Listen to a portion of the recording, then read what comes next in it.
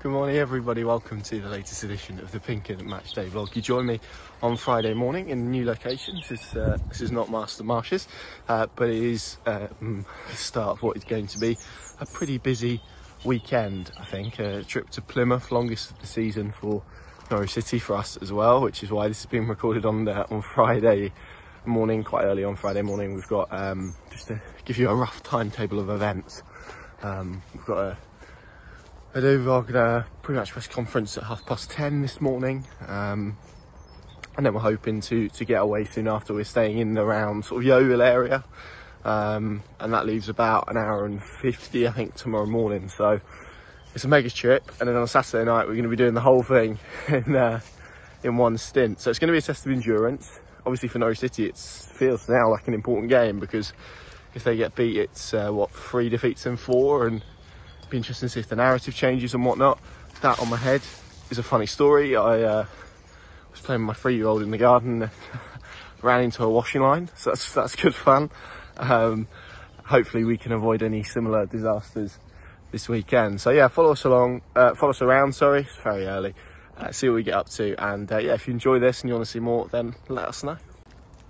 If you wanted cow watch, look at that. That's a whopper you know better than anybody. That's a very tough place. You've made it look easy. Now on the way to our temporary base in Somerset. I believe it's going to take the thick end of six hours to get there, so I'm looking forward to that one. We've just been to David Wagner's press conference ahead of the game where he gave updates on Ashley Barnes, um, Plymouth, what he's expecting, and, and lots of injury news. I'm going to bring in Adam Harvey now to see what he made of that press conference. I think two months ish out for Ashley Barnes. What did you make of that? Yeah, probably to be expected, but we keep saying it, it's Adam Idah's chance, and I think now it definitely is. You know, two two of your main strikers out for well, pushing, you know, November time, Christmas time. So it's um, it's obviously good they brought in Hwang, so at least they've got a, a reserve option there.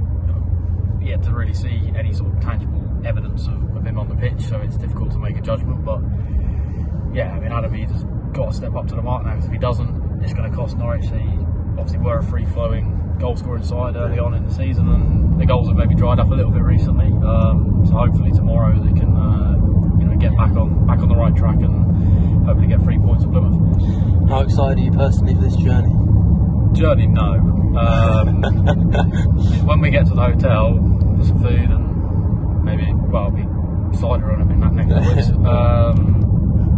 That yes, and again yes. yeah. Um, and sleep, yes, but um, the actual travel element, no, I, I, will be quite glad that uh, to see the back of it. Although at least it's in September and we're not doing this trip, you know, on like a Tuesday night in January because I think that would be even more bleak. And we've kicked things off with a, a lunch at the uh, the office canteen hot dog with uh, what was it, pulled pork with yeah. it, and you had some onions on it as well, as well as a, a, lime and coconut muffin. What did you make of that? Good way to start. Yeah, well, I got absolutely sold by the woman. Um, she was doing a deal, two two cakes for two quid. Um, Fantastic. I really don't need to, but I was thinking, you know, later on. Uh, depending on what the budget stretched to, you know, I might need a dessert. So if, uh, if it doesn't stretch that far, then at least I've got an option. So uh, yeah, it, it, was, it was nice. You know, solid. Like I said to you, it was a seven, eight out of ten. Very Kenny McLean esque. You know, solid performance week in, week out. But yeah. um, still room for improvement every now and again. Solid week in, week out is correct. So I'm going to leave you now while Connor and Paddy are in the front. They've both promised me they're going to tell me about the muffins later on. So um, stay tuned for that.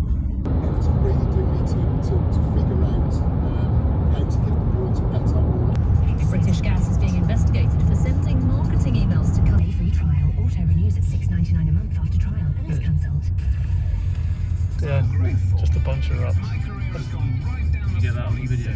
Yeah, I did. There we go, seven hours on the road, um, which was pretty grueling to be honest. But we've uh, arrived here in our base in Chard, I think this is Chard, Chard, one of those in and around Yeovil. Um, and uh, this is where we're staying for the evening. It's a very nice uh, hotel, quite quite cozy, I think is the word I would uh, use to describe it. But uh, yeah, I'm, I'm glad we uh, absorbed a lot of that. We had quite a bit of traffic uh, in around the M4, M25, M4 area. Um, so that wasn't necessarily ideal, but look, it's a Friday. You're going to get that, that rush hour. It's always busy on the road. So uh, yeah, I think we left at about 10 to 1 and we arrived at about half past 8. So that give, with, with probably about a 20 minute stop in, in the middle at uh, South Mimms services. So that gives you an indication of just how long it's taken.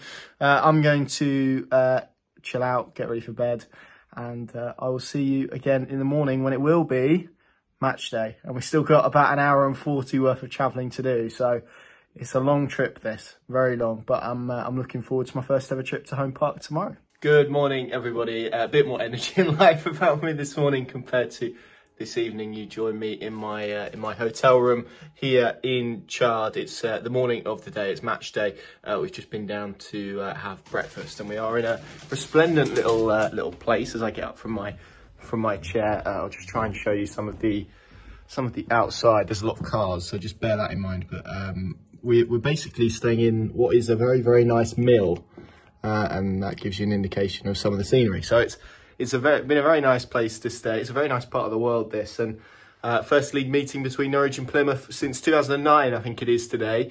Really looking forward to visiting Home Park for the uh, for the first time. But goodness me, it's a long way away. Um, and I'm really intrigued to see what David Wagner does team-wise because I think um, I guess it all centres around the strikers, right? There's a lot, been a lot of pressure put on Adam Idah. I wrote my column on him this morning for all of the kind of um, scrutiny that he gets. He's still only had 14 starts as a as a Norwich City striker, which is really really interesting. Does he go with Hwang? Does he do what maybe I feel he will do and try and shore up that middle by putting Forshaw in and, and then unleashing Gabriel Sara in a bit more of an advanced position? I think then you still get the forward front frontedness of the the press and obviously he, he brings a, a, real attacking quality with him as well. I could see that being a viable possibility. We'll find out very shortly. The time is uh, about nine o'clock on Saturday morning. Um, we're going to wait till about 10 o'clock, check out and then uh, make the final leg of the journey to Home Park, which is about an hour and 40 from, from where we are. So still a, a little bit of travelling to do, but um, it's, uh, it's been good so far. Um, follow us along today and uh, yeah, hopefully another good away day for Norwich City. Here is the location as we make our final way to Plymouth now. We've got about an hour and 50 to go on the road. Um, it's a beautiful morning, as you can see, blue skies all around.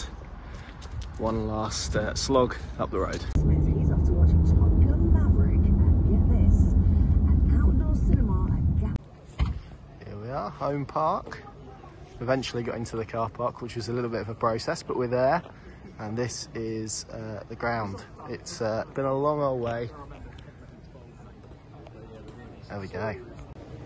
It's a little bit of a hike to get up here, but this is the uh, the view from the press box at Home Park. The away fans will be situated just there, and then you've got the tunnel there. We've come from basically down there. It was uh, unique, Paddy, in all your years. Have you, had Green a press, Army. have you had a press box experience like that, getting to one? I've never been chaperoned to one. No, No, chaperoned out of one maybe one or two times. It gets out of here, we're waiting to go home. But uh, no, hugely friendly with Mr. Gorham. Yeah. Mr. Butler, come along here now. I'll give way to the camera. There we go. That's how early we are. If we get if we- yeah, if we get here before them, you know, we're uh, we're, we're super early. So no, nice and uh, nice and smooth trip, and uh, just catching our breath at the top of Home Park. And as someone who's uh, not particularly fond of heights, this is just about acceptable uh, level. I can just about do this. Stand not too steep. Lovely stuff. And uh, we await the action in a couple of hours or so. I think it's what's the time now, Adam? It is quarter past 12. Quarter past twelve. Blimey. We could have a football game in the time before, it, before it kicks off. There's football going on outside, so we can go and There yeah, there is. There's some penalties being taken, so we can always go and do that. Uh, but yeah, I've not been to Home Park before, and it's uh, not a bad little ground. When in Devon, proper Cornish pasty. Let's, uh, let's have a. Let me sit down. Let's have a. Let's un- unpack this together. There we go. Now the taste test.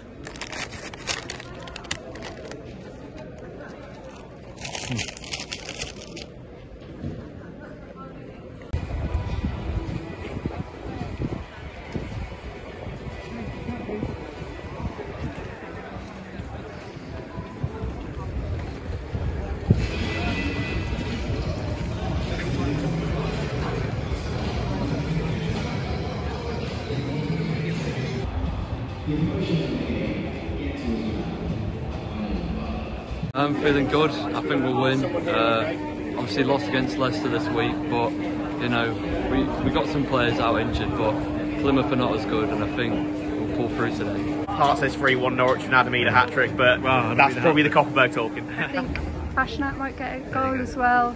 They're all playing really well at the minute, so yeah, those three are my goal scorers for today. it's going to get a lot tougher, and as a result, you know, I would, I would be delighted if Norwich were in the top six by the time we get to Josh Sargent back fit and available, because then you feel they could really recapture the essence of these opening weeks with those two players available, and they could go on and have a very strong second half of the season and hopefully take that to where they want to go as a club. But uh, right here, right now, and today might be, more, might be more evidence of that. It feels like it's going to be a bit of a holding pattern for the foreseeable, I think.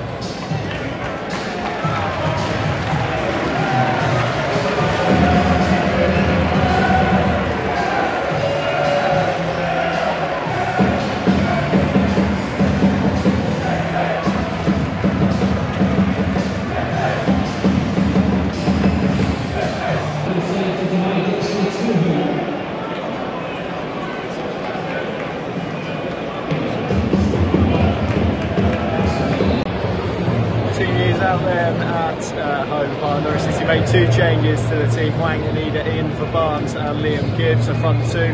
There's the uh, Norwich fans behind me. Great voice in around there. Uh, City Elite in their drum. They've uh, sang songs for Shane Duffy and John Rowe. If I spin you around, down there are the Norwich City players on the pitch. Bali Mumba starts for Plymouth Argyle as expected. Uh, great to see him uh, flourishing at championship level and uh, it's going to to see quite what role he's in. I think there's a bit at the moment of a split between whether Plymouth are playing with a, a back three and wing backs or uh, in the 4-3-3 that they've kind of played throughout this season. So uh, that remains to be seen just give you one more shot of those uh, Norwich City supporters there, 1600, some effort. Uh, a lot of them will have got up this morning very early to get on our half past five coach, I think. So that's uh, that's some effort. We saw them pulling into the ground just before one. So uh, yeah, should be under no, no illusion as to uh, the extent that they've gone to to be here this afternoon. Fantastic commitment. And there are my uh, esteemed colleagues working very hard. Got about 20 minutes till kick off.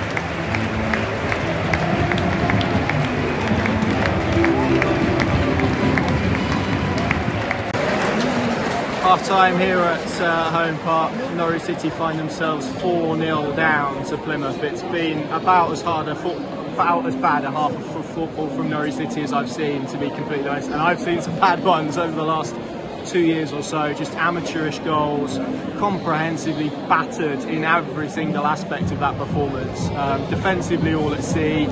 After the first 15 minutes, it was quite a bright start from Norwich actually, and from there it just it, just switch off in all in all areas in all departments and it, it's been a complete capitulation. 4-0 down at half time not good enough for this Norwich City team. Um, a, team of supposedly meant to reinforce their mentality meant to have insulated the group of experienced players. To produce a performance like that is unacceptable completely unacceptable. And those 1,600 Norwich City fans, some of whom have paid for a ticket and a coach. That would have cost 92 pounds. They got, they had to leave Norwich at half past five this morning. Some of them. To then have that performance thrown up is uh, is sickening, really, for them. And they were well within their rights as the players trudged off. The tunnel's just to the right to um, to tell the players exactly what they thought of that performance, and they did. It's uh, it's going to need quite the response from here, but to be honest, it feels like damaging uh, damage limitation ensuring that this is now a result that does not become too bad and uh, does not become even worse than than four 0 It has been woeful, woeful. Uh, I can't use swear words on this, otherwise I, I would be able to describe it more accurately. But just uh, just a complete embarrassment for everyone involved in Norwich City. That that first half. Credit to Plymouth, they were excellent. They uh, attacked and scored at will and uh, showed so much more fight and endeavour and determination. Fully deserving of their lead. But if you're uh, if you're from a Norwich perspective, you just simply cannot put in a performance like that. Just not good enough, and a big second half and a big response needed now.